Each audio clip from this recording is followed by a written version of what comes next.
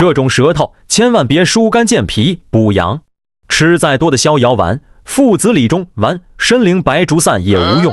主诉男科问题，伴有前列腺增生、怕冷、腰膝冷痛、头晕乏力、有气无力、胸闷、时差、精神不振、小便不利。来看舌象，舌质淡白，苔白腻，齿痕舌，脾肾阳虚，寒湿盛，所以会怕冷、腰膝冷痛、精神不振。小便不利，胃口差，舌中根凹陷，脾肾气虚，所以头晕乏力，有气无力，房事短暂，舌边前鼓胀，肝郁，上焦气机不畅，所以胸闷，情绪低落。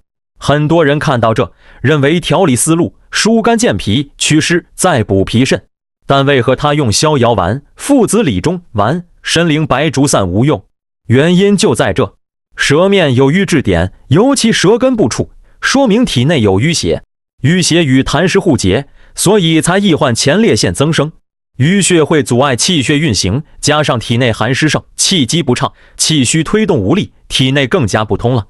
这种情况下，光疏肝健脾是没用的，因为还有淤血阻滞气血，更别提补阳了。一补就上火。